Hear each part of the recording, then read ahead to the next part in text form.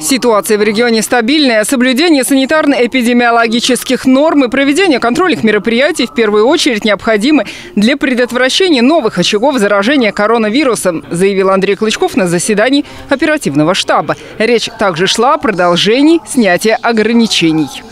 17 августа запланировано возвращение к нормальному функционированию в полном объеме дошкольных образовательных учреждений. Это детские сады.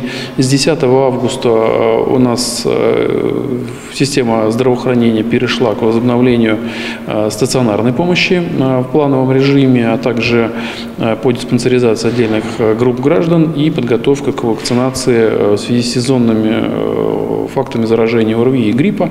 Ну и сегодня мы очень подробно обсуждали готовность наших учебных учреждений. В первую очередь это школы.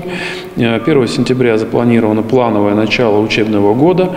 Э, формат проведения праздничных линеек мы будем обсуждать, но в любом случае я считаю, что в каких-то случаях лучше отказаться от э, праздничных линеек для безопасности наших детей, больше акцент перенеся на порядок проведения учебных занятий, обеспечение оборудования необходимым. Что касается высших учебных заведений, то они также готовы с 1 сентября планируют приступить к плановой учебе.